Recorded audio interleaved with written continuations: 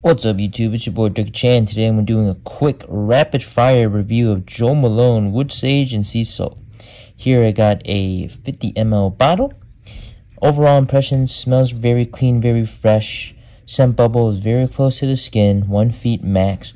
Longevity is maximum 4 hours, then it comes becomes a very, very noticeable skin scent. Uh, it's clean, fresh, airy, definitely a beachy vibe, but a clean, clean beachy vibe. Um, not a very offensive fragrance. Definitely can wear it as a everyday fragrance all year all round. Definitely has a noticeable smell. Probably my favorite Jo Malone in the entire collection from what I've tried.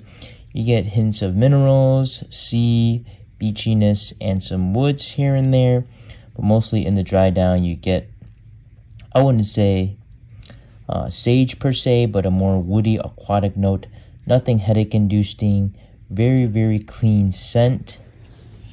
Now, it does go um, unisex, so men and women can wear this.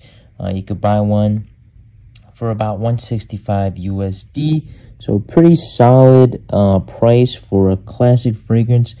This one, I would add it to my collection after I finish this uh, existing bottle. But overall, um, yeah, this one to me would be my go-to summer fragrance.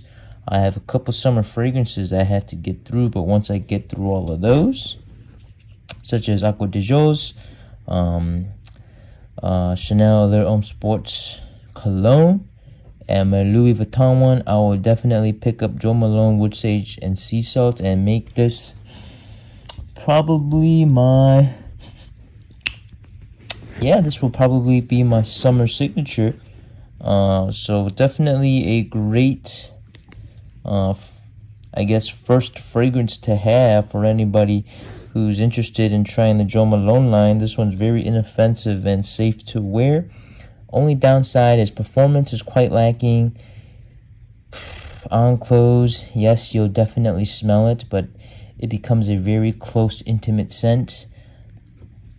On skin, you're lucky to get past four hours. That's the one downside about this fragrance is that if you're big into performance, you will feel disappointed about this because the performance is not quite there. But overall, the quality of ingredients, the good parts about this fragrance is the quality of ingredients and its inoffensiveness. Very clean, sexy beach smell. Wow, it smells like a suit on a beach, if I were to put it to a picture. Alright guys, that's all I have. Jo Malone, definitely a good fragrance. We'll add it to my summer collection after I finish my summer collection because uh, don't want too many bottles piling up. Uh, this one's great for me since it's low key, not too in your face.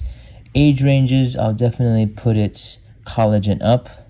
Uh, definitely has a more uh, grown up scent to it, very elegant. Um, and yeah, compliment wise, my partner definitely loves it. She wears it as well. So if she enjoys it, I enjoy it as well. And yeah, that's all I have, guys. Ciao.